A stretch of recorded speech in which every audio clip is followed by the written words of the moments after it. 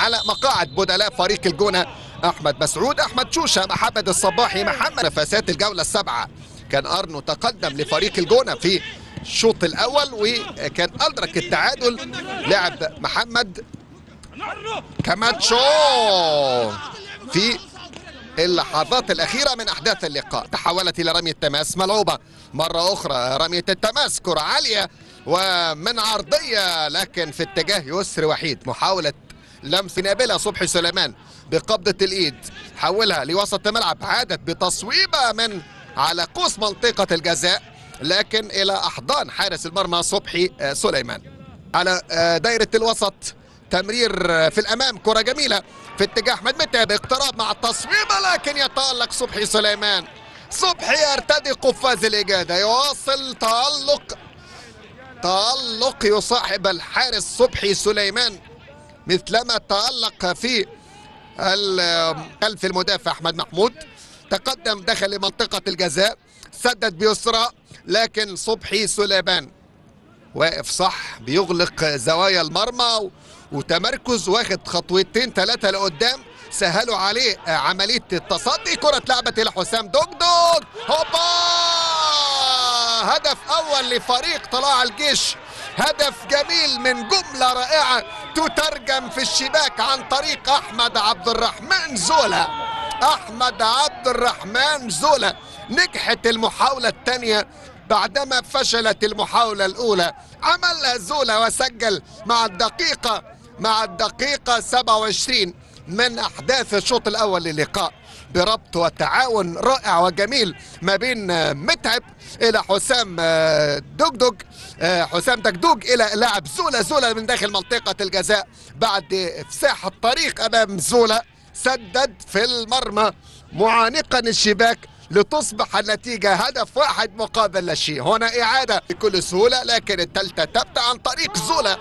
من محاولة كانت هي الأولى لزولا سجل وتقدم. أدي تصويبة لكن إلى أعلى كرة في اليمين ايتوجا عنده هدف رائع لا ينسى سجله في مرمى. حدود أثناء تواجده مع المصري بورسعيدي. لاعب الكاميروني ايتوجا كرة داخل منطقة الجزاء من حسام إيفونا. برأسية لكن كانت خلاص تجاوزت وعدت بكامل هيئتها. أحمد أمازي. خطأ لصالح. فريق الجونة كرة من خارج منطقة الجزاء. كرة من على يسار محمد شعبان. هل من الممكن إنها تستغل؟ لكن محمد شعبان قبل حسام ايفونا دخل على طول بقبضة اليد اليمنى. يطلع الكرة إلى رمي التماس مع سقوط حسام غانم ايفونا في الكرة المشتركة مع خالد سطوحي. قائد فريق طلع الجيش. خالد سطوحي. ادي الكرة اللي تعبت عالية لكن تدخل في توقيت مناسب وسليم. كرة ايمن مكة العرضية الكرة الثابتة وكأنه خلاص متخصص واخد تعليمات وتوجيهات من المدير الفني على عبد العال في تنفيذ الكرات الثابتة. اتلعبت حسام إيفونا تعرض لسقوط في جوار خط التماس في الجانب الأيسر. محاولة متعب للضغط. كرة هيأتي إلى إيتوجا محاولة للتصويب. رجعت إلى كريس جونيور. صوب ولكن إلى خارج الملعب. ركلة مرمى في محاولة كانت للجونة. كانت بتنذر بخطورة مع العدد الزيادة اللي حصل من تقلة مرمى لصالح فريق طلع الجيش. اتعبت من محمد شعبان ولكن خلاص حكم اللقاء. محمد التعب الغازي بعد ما أعلن عن ثلاث دقائق وقت بدل ضاع للشوط الأول يطلق صفارة الختام والنهاية لشوط أول. كأس الرابطة للأندية المصرية المحون الأبيض الكامل على يسار ملعب اللقاء. متأخر في النتيجة منذ الدقيقة 27 زولا هو من تقدم لطلاع الجيش. كرة أحمد محمود في الأمام إلى فرانكي توجا إلى أحمد محمود بتصويبة من على قوس منطقة الجزاء. حلوة جميلة في أول تهديد لكروش البحر الأحمر من نكة في اليسار. محاولة مرور من محمد سمير. آه لو مر أيمن. مرر الكرة إلى أشرف.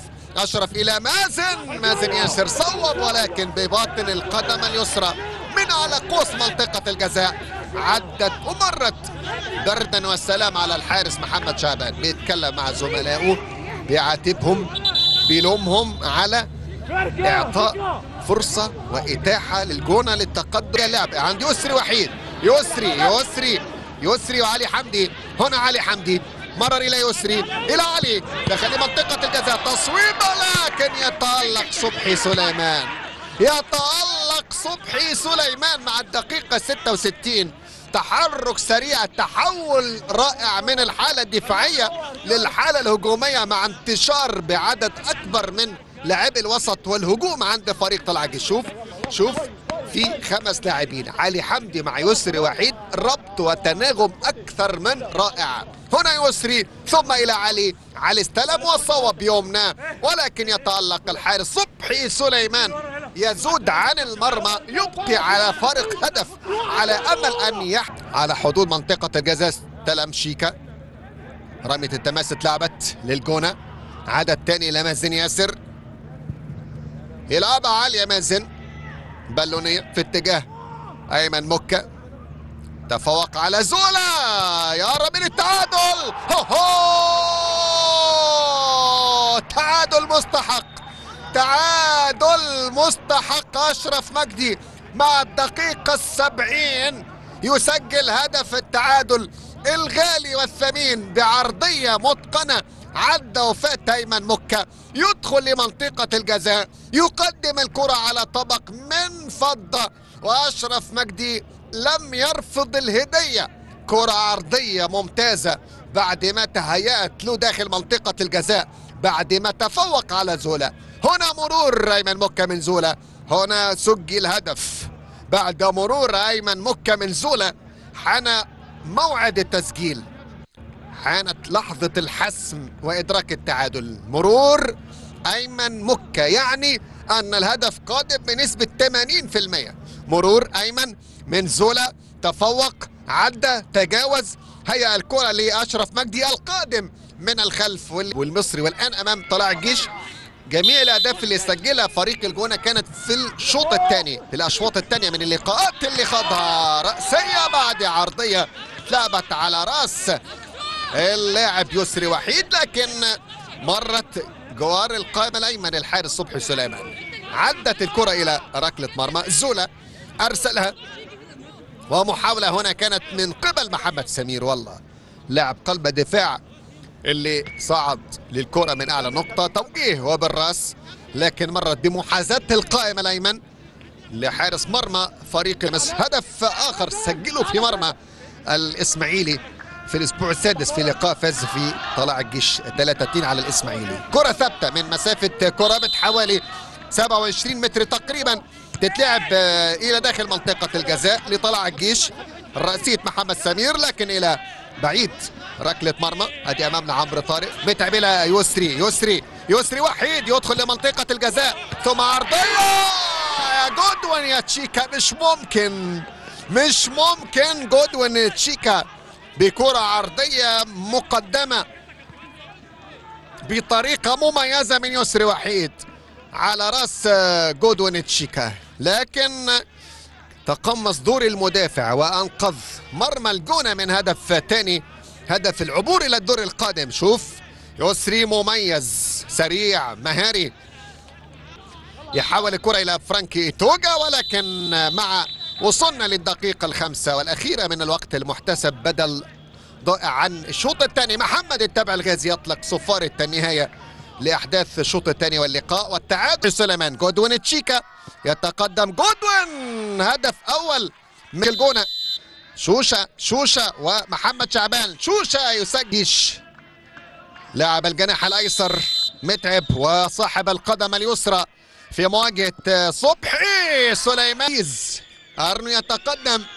تسديدة أرنو على يسار محمد. مع صبحي. سمير! مش ممكن يا محمد يا سمير.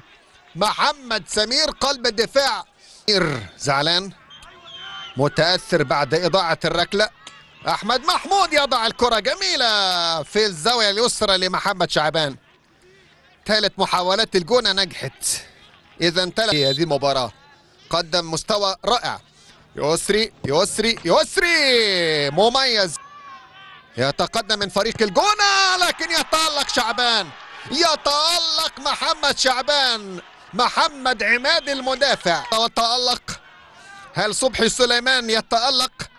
أحمد زولا يتقدم. زولا في الزاوية اليسرى. صبحي سليمان اتجه في الزاوية. أمير من طلائع الجيش وعماد من الجونة وعبد الرسول وشعبان. عبد الرسول يضع الكرة في الشبكة. وصلها للشبكة. الغيني يتقدم. موسى ديوارا قوية قوية في الشبكة. صبحي سليمان ما اتحرك إيتوجا ومحمد شعبان. ايتوجا ومحمد شعبان.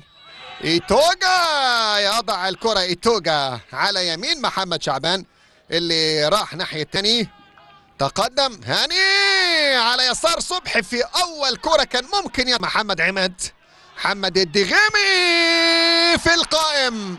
وضاعت المحاولة على محمد الدغيمي وعلى فريق الجونة في التعادل ليفوز فريق طلائع الجيش بركلات الترجيح من علامة الجزاء.